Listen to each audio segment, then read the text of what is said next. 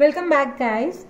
As in yesterday's video, as I've told you about how you can change your question in a proper answer by doing paraphrasing.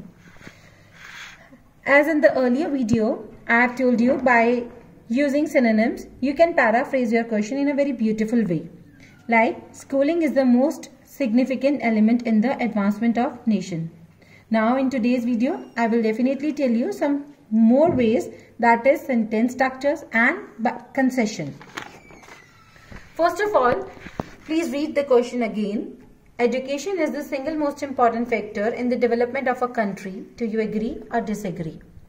Now, by using sentence structure, what is sentence structure? Sentence structure is like कि हम जो forms है form of the words को change कर दे like verb can be changed into noun the noun can be changed into adjective for example अगर एक developing हमारा verb है तो जो नाउन है, वो हम डेवलपमेंट लिख सकते हैं। Same like technology is a noun and जब वो एडजेक्टिव फॉर्म में जाएगा that becomes technological so by changing the order and form of words we can rephrase the our question in a very impressive way like this the most essential element of a nation's development is education guys आप ध्यान से देखेंगे, मेरे question में जो है education is at the beginning but जब मैंने आंसर रिफ्रेज किया education is at the end same like single most important factor is in the middle but जब मैंने आंसर रिफ्रेज किया मैंने उसे बिगनिंग में लिखा है.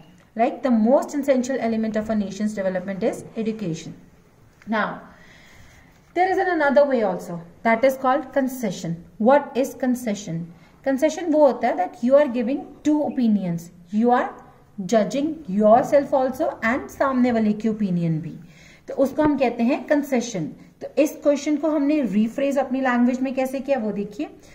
Although many would agree that the economy is the most important factor in nation building comma I think education has a far greater impact अगर आप देखेंगे जो ऑल दो है that is a key word here and I have use a comma also है so by using these three things you can do and you can even use in in your questions and you can paraphrase your answer. And guys seriously if you guys are uh, using para if you guys are paraphrasing your question you will definitely get good score and good bands also. I hope you like the videos.